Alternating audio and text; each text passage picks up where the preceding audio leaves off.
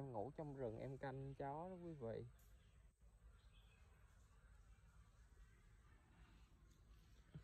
Đó đó. Kìa nó đứng kìa.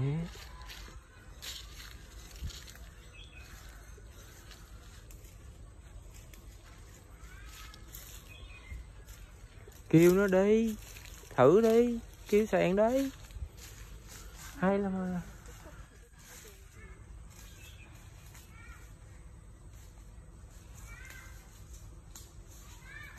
Đó.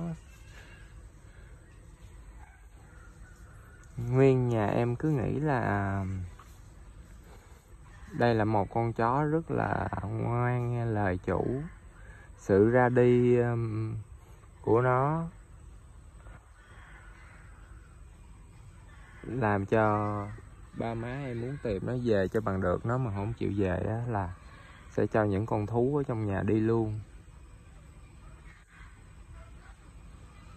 Đi theo nó luôn, nhưng mà chó nhà con nào cũng nghe lời.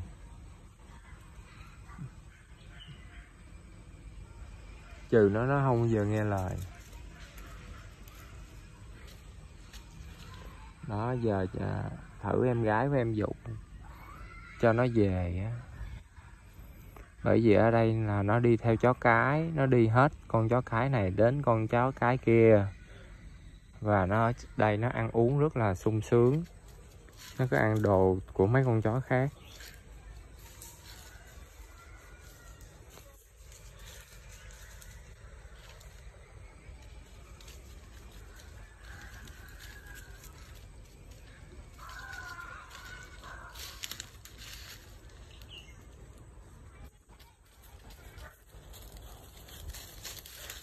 Em ngủ trong rừng em đợi đó nó xuất hiện là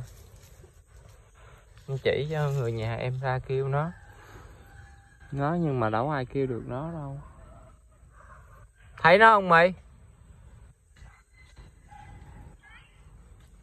Trời ơi. Là ở nhà em là chỉ có mình em thấy nó thôi không ai thấy hết trơn á. Dưới hàng xóm thấy. Nhưng mà lúc mà em gọi mọi người ra để uh, kêu nó thì nhà em nói là em nói xạo. Nó thua vậy đó. Em quay phim cho coi luôn nhưng mà không tin. Bắt em đi tìm nó hai ngày nay em không đi phóng sanh được cho mọi người. Bởi vì em phải đi tìm con chó. Em phải canh con chó, em phải ngủ ở trong rừng, trong cây vậy em đợi nó em ngủ như con chó luôn á. Dạ. Đó là má của em. Má em, tính má em vậy đó. Tham lắm lớn tuổi thôi, còn tham, tiếc con chó. Tiếc con chó ngu ngốc. Thì nó ở ngoài đây nó phải ăn luôn chứ làm sao? Kêu ra, không ra tự nhiên đi đâu vậy? Nó nằm canh đi, hồi nó xuất hiện. Muốn cảm giác thì ở đây canh chung.